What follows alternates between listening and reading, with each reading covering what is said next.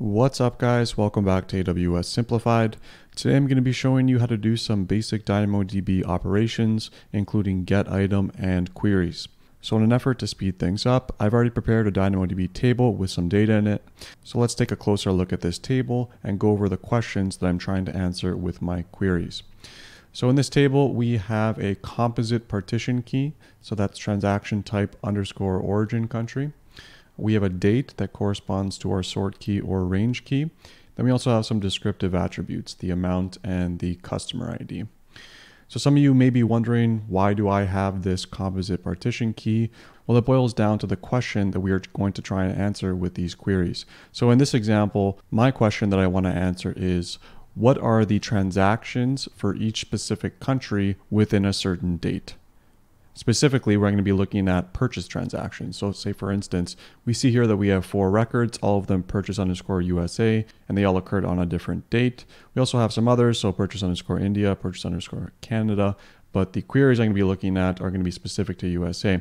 So, so again, the question I'm trying to answer is for a specific country, give me all the purchase transactions that occurred after a specific date. So say for instance, I want to know all the purchases in USA that occurred after or before the 17th of November. So that's the query that we're going to be performing in one of the later steps. Uh, the get item that I'm going to be showing as well is if you know a specific transaction type and a specific country and a specific date, so you know you are looking for exactly this record here, then I'm going to be showing you how to do a get item to retrieve that specific record. Okay, so this is the table that we're going to be working with. If this didn't make sense, especially the format of how I am structuring this database, be sure to check out my other video on DynamoDB schema design where I go over this topic in detail and why it's important to prevent some hot partitioning on your DynamoDB table. So let's move on now and actually do it. So the first thing I need to do is go create a IAM role that has permissions in order to access this table. So I went to IAM, I'm going to roles, going to click on create role. And we're going to be doing this from a Lambda function. If you're doing this from a local machine, then you just need to create a policy and associate that with your user. But since we're doing it with a Lambda, we need to create a role and associate the policy with the role. So let's do that. Let that load. So the first thing we need is just a Lambda basic execution role. This is required for all Lambda functions, or excuse me, policy. Uh, the second thing is we need some basic DynamoDB access. So I'm going to be using one of the predefined policies. Not going to be using full access. Um, it's kind of dangerous, especially in production. Going to be using the read-only access here. If we expand this out a little bit to see what's inside, you can see it has a bunch of stuff. The one that we are actually interested in is get item, DynamoDB get item, and DynamoDB query. I'd encourage you, if you're doing this in production, also limit this policy to a specific table that you're going to be interacting with. But for the sake of time, I'm not going to be doing that in this example. Moving on, going to review. So DynamoDB Lambda role. Leaving everything else blank. Here's the summary of the policies that we're going to be applying. Clicking on create role. All right, now we have our role. Let's go to Lambda now. Okay, click that. I'm going to go over to create function. We're going to be doing this from scratch. Transaction query example. Going to be doing this in Python 3.7. There we go.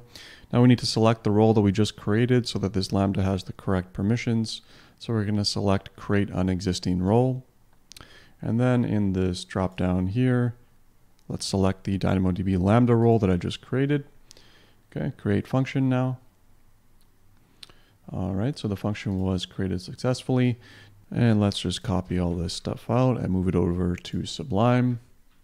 Okay, perfect. So let's just get rid of this stuff here. All right. Okay, so let's actually uh, set this thing up. So the first thing we need to do is just import some dependencies. So we're going to be using the Boto3 library here.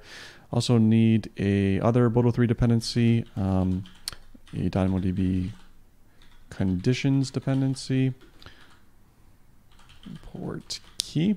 So it's going to be useful in our query step, which we'll see in a minute here. Uh, so we also need to define our DynamoDB client where we're going to be interacting with the table. So we're going to say client equals boto3.resource DynamoDB.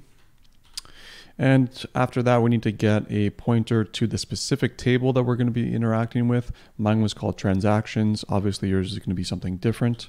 So let's say table equals client dot table, and it's called transactions. Okay, cool.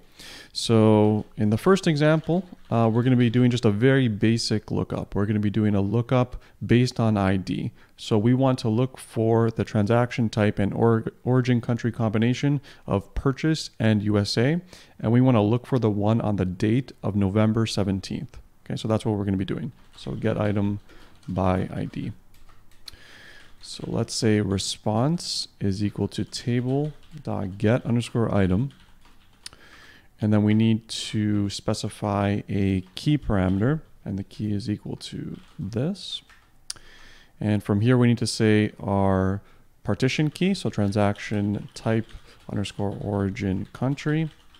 And the value that we are looking for is purchase underscore USA. And I also said we want to look for November 17th. So let's say date, which is the sort key name and 2019-11-17. Okay, perfect. So let's just, after that, we'll print out the response. And in the get item API, the response object will contain a item key, and the item key will reflect the row that we are getting back from Dynamo. Okay, so that, that's all it takes in order to get a item by its specific partition key and sort key combination. Okay, so let's just print a delimiter here so we can actually distinguish between the previous example and the one that's coming up.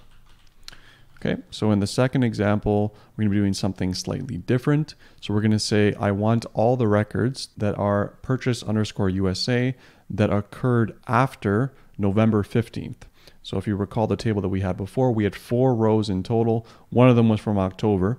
So in the result set that we're going to expect to get back, we're only going to have three rows, and those rows should all have a date that is greater than November 15th.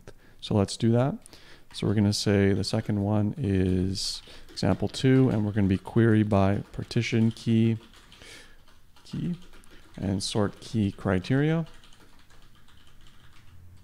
Now let's say response is equal to table dot query this time. Recall here up here we're using the table dot get item. Now we're using query. And we need to specify something slightly different. So it's called a key condition expression.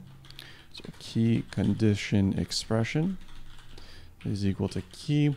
And the notation here is much more straightforward than the notation that I'm using up here. This is just a reflection of the Boto library. It's much more intuitive as you'll see in a second. So we'll say transaction type underscore origin country. Let's make this a little bit bigger for everyone. Equals dot EQ purchase underscore USA and the key of date is greater than, or GT, 2019-11-15. So just to go over this really quick, we're saying that we're going to perform a query and the expression, the key condition expression that we're going to apply is the origin country transaction type combination must be purchase underscore USA and the date must be greater than November 15th of this year. Okay, so in terms of printing out the response to see what we get, the response is slightly different. When you're performing a query, you can retrieve one or more items. So we have a items key here as opposed to in the get item, you only have one item. So now we have a list. So let's iterate over the list. So for item in items, just print the item. Okay, so this looks pretty good. I'm going to be making this code available in the comments section below. Uh, so don't worry about memorizing this or trying to uh, copy it out. So let's take this here. Let's move it back into our Lambda. Click on save.